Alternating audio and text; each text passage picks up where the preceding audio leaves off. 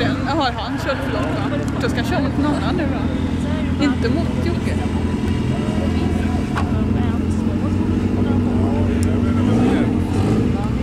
Har du allting redan? Har du startat den?